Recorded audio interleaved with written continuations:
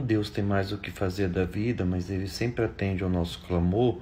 Talvez ele te mande uma canoa, serve? Fiz uma, o suficiente para tomar consciência de que aquilo era coisa de Satanás.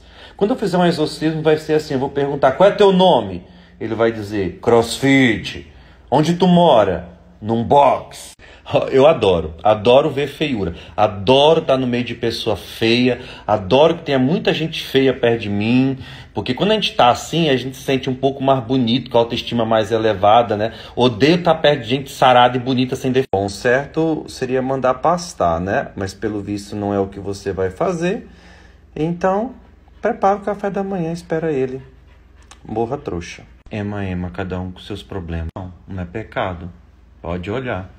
Pode até curtir uma foto, mas não curte três não, porque quando a pessoa curte três fotos é porque ela tá afim. Ela tem feiura que nem plástica dá jeito, viu? Agora tem algumas coisas que a gente pode ajeitar na nossa vida, inclusive escrever direito.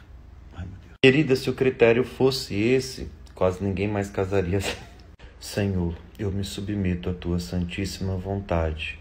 Deus fala, carreira solo.